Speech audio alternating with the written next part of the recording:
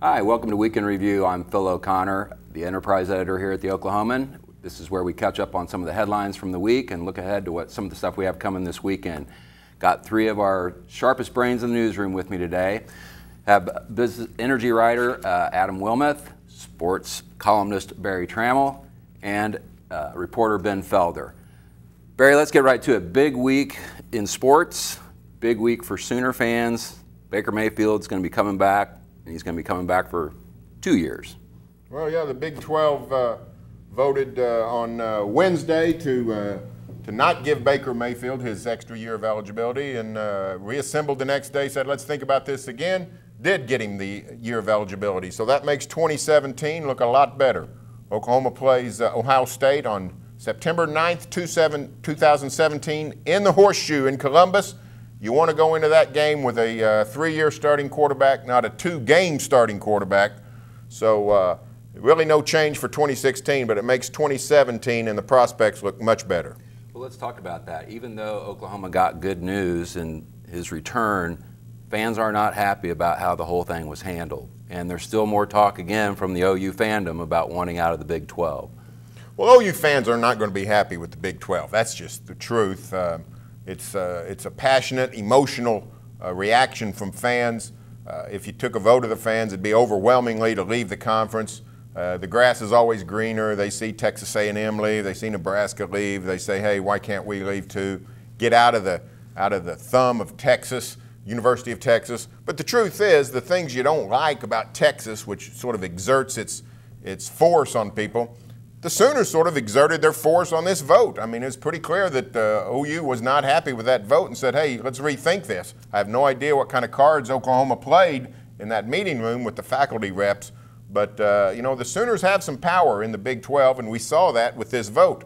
You go to the SEC, you go to the Big 10, you're not going to have that kind of power. You're not going to have that kind of influence. So there are all kinds of things to think about when you're going to think about leaving a conference? Well, this is where I put in my weekly plug for my Kansas State Wildcats, and I'm going to I'm going to beg that you guys not destroy the conference. uh, speaking of coming back, there's also questions uh, surrounding, of course, KD's future here in Oklahoma City. You had a column this week that said this is really a done deal and he'll be back. I think it's 98%. I can't imagine a scenario by which Durant doesn't re-sign with the, with the Thunder. To me, it's just a question of does he sign a one-year contract, which would make a really to his financial ad, uh, advantage, or does he just say, listen, I'm all in. Here's a four or five-year contract. Let's up and, and let's start getting serious. So he's a loyal guy. He talks about people. He's never done anything, said anything to make you think he wants to get out on the market.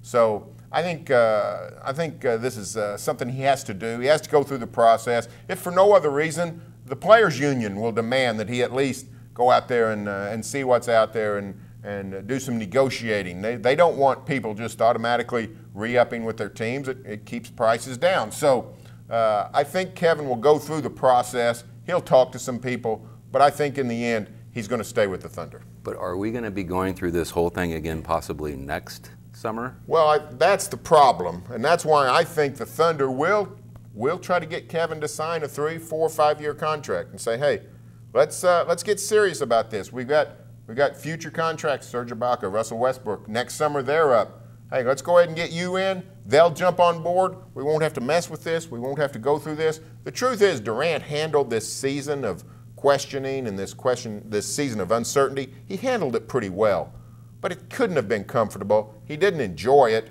I think he'd, I think he would prefer to go through uh, a season in which, uh, hey, no more questions, just trying to win basketball games. That's all that's on the table. I, what I'm saying is, I think it's a possibility that he would sign a longer term contract. Now, I'm in the minority on that. Most people say it's automatic, he's going to sign a one year deal. But I think it's possible that he could sign longer. Great. Okay, Adam, we've had a lot of uh, news this week in the energy industry. Um, oil's creeping up near $50 a barrel, but it, there's still a lot of pain being felt by a lot of people in that industry. Uh, we had a story this week from Brianna Bailey about the folks out in Elk City. Um, what's the word out there? What, what's the latest from Elk City? Well, you're, you're right. The, the, low oil prices over the past two years have been hard for, for the, the whole industry throughout the region, throughout Oklahoma. Uh, lost uh, about, about 20,000 jobs statewide. Um, in Oklahoma City and Tulsa, a lot of those jobs have been absorbed by other industries. Out in rural parts of the state, it's, it's harder to do that. Uh, Elk City area has lost about 1,200 jobs over the last uh, year and a half. It's hard for a community that size to absorb that many jobs. So yeah, it's definitely it's affecting housing, it's affecting uh, industrial development, it's affecting the, the city has put in place uh, the last several years when prices were higher, when the industry was going stronger. The industry put it, or the city put in place things to bring in more industry to be able to continue to grow. And now, just as they were starting to get that going, the industry's dried up. And, and it, it's definitely hurt the community. And Elk City is, of course, used to the boom bust cycle. I think we were out there a couple years ago talking to him in, in the boom part of the cycle. And remember the mayor at that time saying, we're not going to make the same mistakes we made in the past. We're going to we're going to put stuff in place that when the when we know that the next downturn comes, we'll be ready. They just didn't quite have enough time to get it all in place yet. I, I think that's right. I, I, think that's fair. I think that uh, they uh, they did. You're right. They made they made a, a, a point to invest in in parks, to invest in uh, water uh, uh, resources for the community, to invest in a, a, big industrial park, things that are, are more than just energy, uh, things that would allow the community to continue to grow. probably a good plan, probably a good idea. nobody expected this downturn to be as deep of, as of, of, a downturn it is. I mean, this is the longest uh, lasting uh, bear market in the energy industry for at least 30 years. Um, the, for a lot of reasons, it's not is is not as widespread. It's not as deep as, as it was in the 80s, but it's the worst we've seen since then. And and so that that that kind of uh, a hit is hard for a community like Elk City or, or, many other rural parts of Oklahoma to absorb. What's the anticipation for oil prices at this point for the rest of the year? They have been climbing steadily. Uh, we, we hit a 12 year low, $26 in February.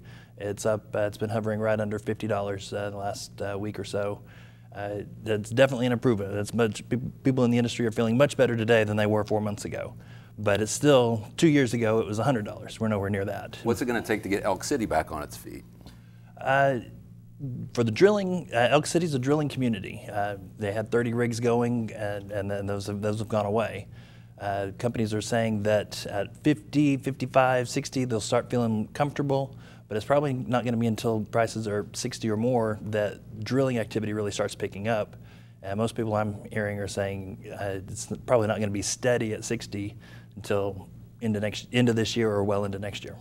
Uncomfortable times in the oil industry also uncomfortable times at the legislature, maybe for some incumbents, right? We have the uh, primaries are coming up. We've got candidates for office, uh, and we have an unprecedented number of challengers yeah, that's right. This is an election year uh, for every House seat, half of the state Senate. So now that the uh, uh, legislative session has come to an end, uh, for many legislators, it's uh, full campaign mode. Now, what's interesting going into the primary that takes place on June 28th is we have 32 incumbents that face a primary challenge. So someone within their party that is trying to unseat them.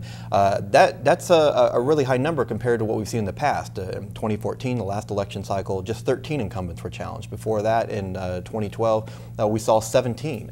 Uh, overall, this is the we have the highest number of candidates filing for House and Senate seats since 2004, when uh, term limits started to impact uh, legislative races. And so, um, a variety of reasons for that. We've seen quite a few educators run, uh, 30 to 40 uh, members of the so-called teacher caucus. These are teachers or, or former teachers that are, are, running on a campaign of increasing education funding and teacher salaries, um, and that's in both parties.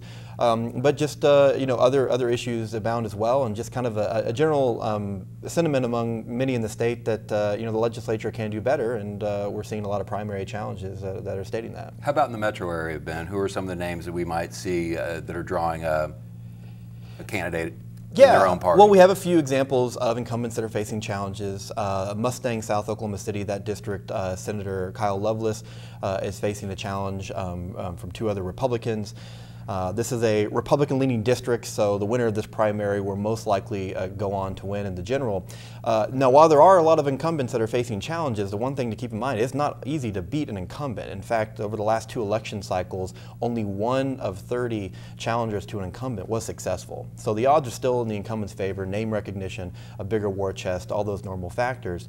Uh, when it comes to the primary election, though, some interesting storylines will be uh, which Republican emerges maybe in um, uh, House district with Cyndi Munson, which is House District 85, the Democrat that was able to steal that seat. Uh, Republicans want it back real bad, and so there's a handful of Republicans that are running in that primary to see who can contest her in November. On the flip side, House District 87, uh, Representative Jason Nelson, who's not running for reelection. Uh, this is a district that ha- the Democrats have performed better in each year over the last few cycles. Um, Collin Walke, who ran against Nelson and lost uh, two years ago, is running another Democratic challengers in that primary. Uh, and so this is a seat that uh, Democrats are, are, hopeful that maybe they can steal. And that would really be, uh, you know, picking up maybe an urban seat or two would really be a victory for the Democrats. There's no risk of a, of, of a shift in power. The Republicans have a supermajority. That's going to stay in place uh, for the foreseeable future. But the Democrats are trying to show that uh, in some of these, especially these urban districts that are starting to trend a little bit more left, that, that they can be successful there. Yeah, it's going to be a it's going to be a active and uh, uh, volatile campaign, yes. I would say this this fall for the uh, for the uh, Oklahoma legislature. Well, those are all the headlines we have for this week. Uh, be sure to check uh, the Sunday paper for Ben's story on the legislative races, and we will see you again next week. Thanks so much for joining us.